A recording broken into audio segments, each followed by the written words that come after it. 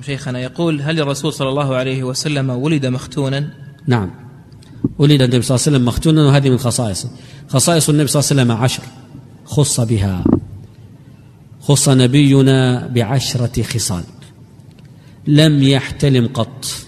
احتلام أن يرى في المنام أن يأتي أهله لم يحتلم قط. لأن الاحتلام من الشيطان والشيطان هو معصوم منه. ولا له ظلال. يمشي وليس له ظل لأنه دائما الغمام يظله. والأرض ما يخرج منه تبتلع. إذا تبول لو جيت بعدها ما تجد أثر. تبلعه الأرض ويبقى مكان يابس. والأرض ما يخرج منه تبتلع. أيضا الذباب لا ينزل عليه ولا على طعامه. يمتنع عنه يفر منه.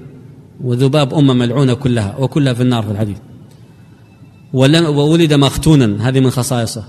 ولا يماشيه أحد إلا طاله. لو جبت أطول شخص ويوقف جنب النبي صلى الله عليه وسلم يصير قزم ويصبح النبي صلى الله عليه وسلم أطول منه.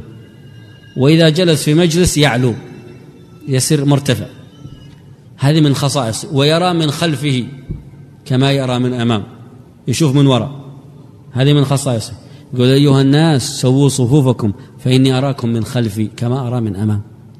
ودخل واحد من الصحابة والنبي صلى الله عليه وسلم في الصلاة فركع قبل أن يصل إلى الصف فلما سلم النبي صلى الله عليه وسلم من صلاته دعاه قال ما حملك على ما فعلت؟